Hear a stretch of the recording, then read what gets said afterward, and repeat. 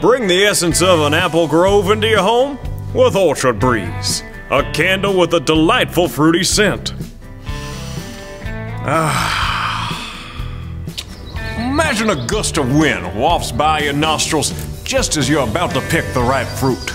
When suddenly, a different kind of wind hits you instead. The candle says Orchard Breeze, but you know better. This is the Stank Prank Candle. Give it to a friend and revel in this time delayed practical joke. The stench of foul smelling fart is waiting, hidden under a layer of clean apple scented wax. Your victim will bring this modern day Trojan horse into their home and enjoy your thoughtful gift for about four hours. Then, when they're least expecting it, it craps in their house. Well, not literally, but the candle sure smells like it. And since they know you've given them an apple scented candle, they'll go crazy looking for the source of that awful odor. I'm leaving. Fine. Get out of here with your stink. If you're wondering how it truly smells, just check out what these folks have to say. Ah.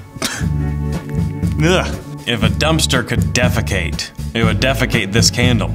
It's like a grandpa fart in a hockey bag. The Brown Town. Ugh. Sumo wrestlers' gear after they've wrestled, you know, just like in a pile. That's like wafting in my nose.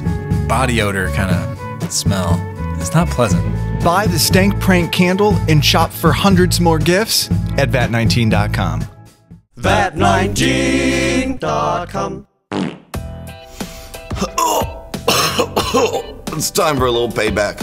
To get more ideas for your prank war, check out the I'm a Douche mug or the BeanBoozled Jelly Beans. Subscribe to our YouTube channel so you never miss a great idea. Oh, I think I'm gonna spew.